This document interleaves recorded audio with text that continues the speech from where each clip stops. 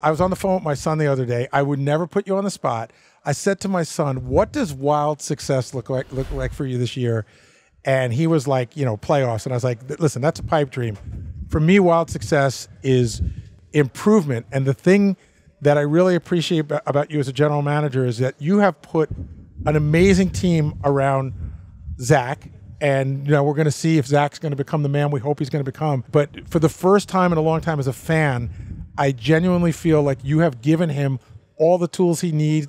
I mean, you can't do any much more than you've done, and, and, and we appreciate as fans, we appreciate it. You hit the nail on the head. I mean, improvement, and I feel like we've seen that the first the first week plus um, throughout the entire team, not just the quarterback, but the, throughout the entire team. So that's a, one of Coach Saleh's big things is, hey, just go to bed better than when you woke up this morning. Just eh, that one percent. You do it, and and and I know people kind of roll their eyes and oh cliche, but it, it's real. Like we just we just got to keep stacking good days together, get better, stay healthy, and uh, there will be improvement. Right? Is is that a lot of pressure to put on a young kid, or just is that just that's what if you're going to be an NFL quarterback?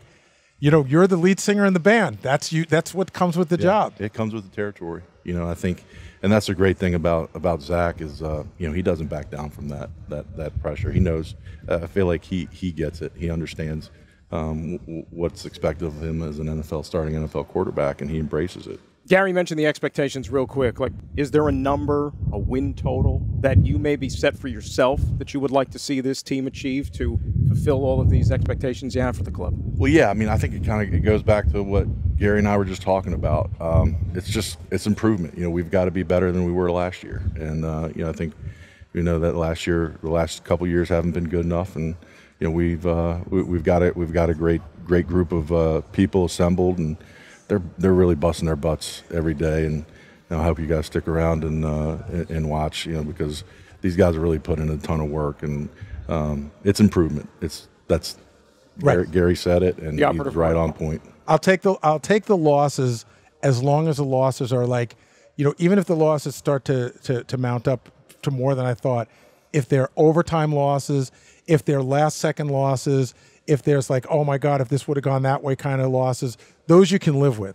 It's, you know, the blowouts yeah. or, or, or the ones where the team shoots himself in the foot. So that's, I'm looking for the close games and right. just be competitive. Yeah, tough, disciplined, competitive. And I think, you know, we've got one, one of the things you should, you guys should watch a day of practice. I mean, we've got a, uh, we're expecting to play in a lot more close games this year, and it's going to come down to, to special teams and kicking. And we've got a great kicking competition going on between Eddie Piñeiro and, and Greg Zuerlein, and so um, you know we're, we're expecting you know, whoever wins that you know to, to really help us this year. Wise man once said, "Don't take the foot out of football," nope. and it's important. Can't.